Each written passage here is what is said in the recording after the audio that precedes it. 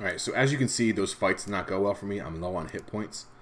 Um, naturally, uh, every 75 seconds or so, you'll gain back some hit points.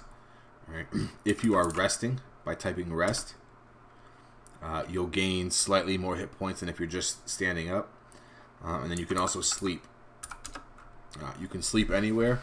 Um, however, if um, hostile mobs uh, come across you while you are sleeping, uh, you will they will attack you. Okay. Um, to wake up, type wake. All right, and then you need to also stand. Um, as you can see, because I am hungry, uh, I did not get back many hit points. Uh, so it's important that you always have some food uh, and water on you. So I'm gonna adventure around here and get some gold coins, and then show you how to get get back to the town.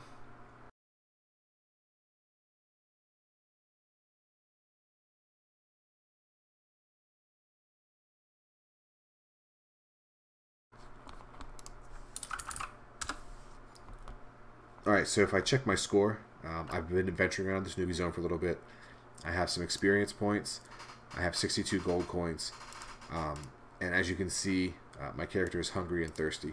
So I need to go back to the city uh, to purchase some food uh, and to get some water out of the fountain. Um, so I'm in the hallway, so I need to make my way uh, generally back to the west uh, to get back out to the field. Uh, from the field of Midgard, go uh, south.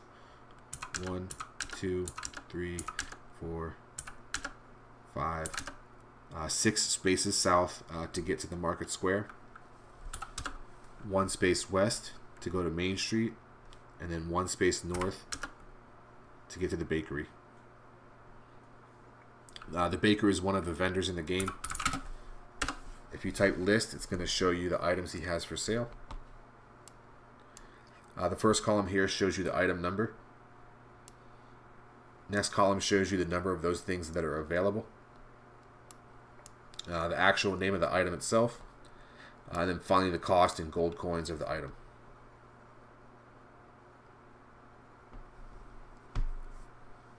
The easiest way to buy an object is to type buy and then select the item number from the column.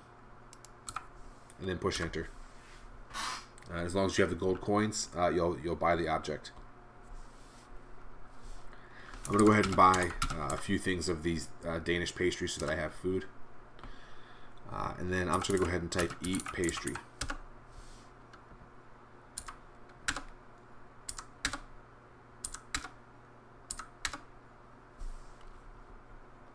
Uh, if you can, always eat enough food until it says that you are full.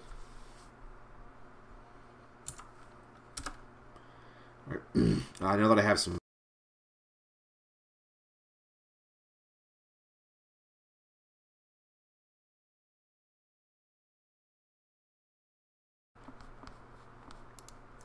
Uh, from the baker, I'm going to go south uh, into the armor. I have 95 gold coins after I sold an item real fast.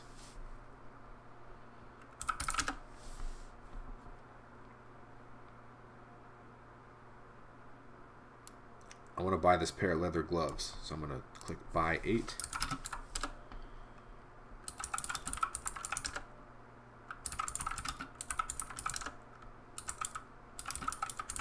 Now obviously I already had leather gloves, but this is just to show you how to uh, buy the armor. Uh, so I'm going to go north from the armor, east, uh, takes me to the market square, east again, uh, will take me to Main Street on the east side of uh, the Market Square.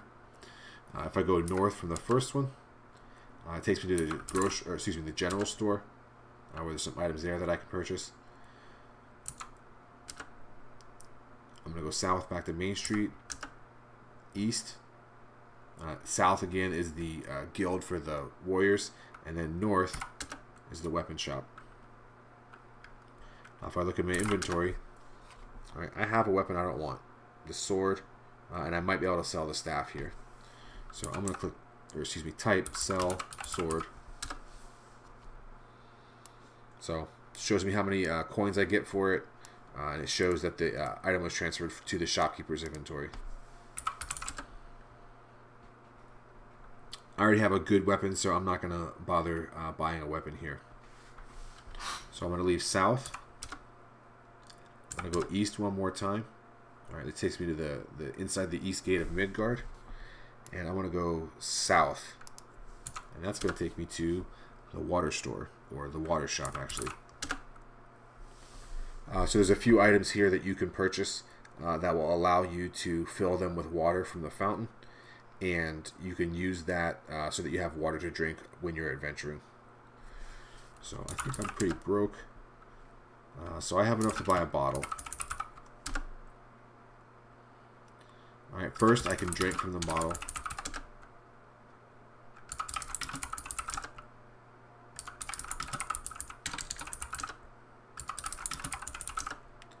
And eventually they should there we go. Uh, they should empty out once you drink enough times.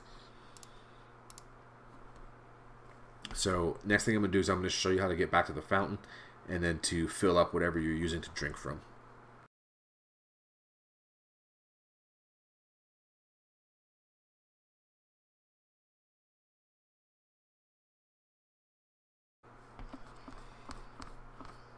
Alright, so uh, like I said, I'm going to show you how to fill up the water bottle uh, from the shop. I'm going to head north. I'm going to head west back to the market square. And then north one more time to the temple square. Uh, you should see a large fountain. Uh, it says card from Blue Streak Marble is here. I want to fill the bottle from the fountain. Uh, and you only have to do that once to fill the whole container. Uh, so that's how you. Uh, that's the easiest way to get water. Uh, there are some spells uh, later on that you can get that will create food and water, but um, once you get a canteen or a bottle, just fill it up at the fountain every time you come back to the city.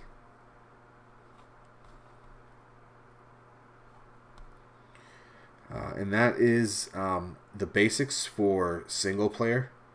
Uh, I'm going to show you one more thing uh, on how to join a group uh, and then adventure with friends uh, if you can get other people to play.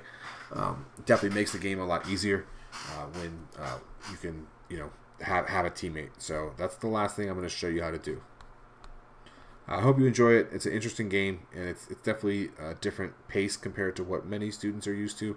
So uh, just give it an honest attempt is all I ask, and then complete the survey. Thank you.